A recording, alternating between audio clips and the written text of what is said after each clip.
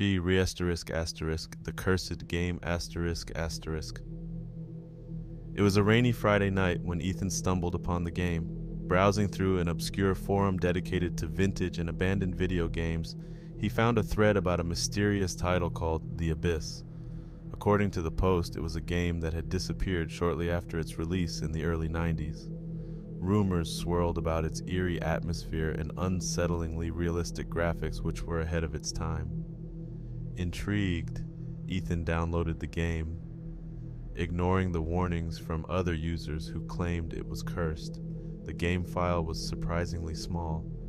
As it installed, a cold draft swept through Ethan's apartment, causing the hair on his neck to stand up. He brushed it off as a draft from the old Windows and clicked on the icon. The screen flickered before displaying the title, The Abyss. The opening screen was simple black background with white Gothic text and an image of an ancient, decrepit mansion. The soundtrack was a soft, haunting melody, almost like a lullaby. Ethan selected New Game, and the screen faded to black before revealing a first person perspective. He was standing at the entrance of the mansion, rain pouring down in sheets much like the weather outside. As he moved forward, the game's realism struck him. The sound of rain and thunder, the creaking of the wooden door as he pushed it open, the musty smell that seemed to emanate from his computer screen. It was immersive, almost too real. He entered the grand foyer, his footsteps echoing through the cavernous space.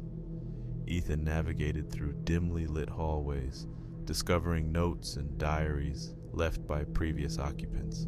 They spoke of strange noises, shadows that moved on their own, and a presence that watched from the darkness. Each entry was more disturbing than the last. The deeper he went, the more the mansion seemed to come alive. Doors slammed shut behind him, whispers echoed through the halls, and fleeting shadows danced just out of sight. He reached a grand staircase leading to the basement. A chill ran down his spine as he descended, the air growing colder with each step. The basement was a labyrinth of stone corridors and iron doors. At the far end, he found a large, ornate door with a symbol he didn't recognize. As he approached, the whispers grew louder, more insistent. His hand trembled as he clicked to open it. The room was a ritual chamber with a large, circular stone altar in the center, surrounded by strange symbols etched into the floor. The walls were lined with ancient tomes and grotesque statues that seemed to watch his every move. On the altar lay an open book, its pages filled with illegible scrawled text. Ethan felt an overwhelming urge to read the book. He leaned in, and as he did, the screen flickered. The text on the page began to shift and change, forming words in a language he couldn't understand. Suddenly, the power went out, plunging his apartment into darkness. The only light came from the faint glow of his laptop screen. The whispers from the game seemed to spill into the room, growing louder and more frantic. Panic set in, and Ethan reached for his phone, but it was dead.